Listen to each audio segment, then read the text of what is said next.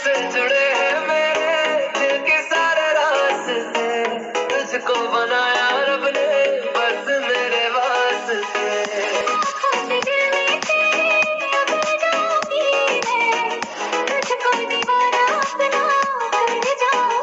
कर मेरे बारे में तुम भी क्या खुद से बातें करती हो ना। चलो अब सच बता दो प्यार हमसे करते हो sola.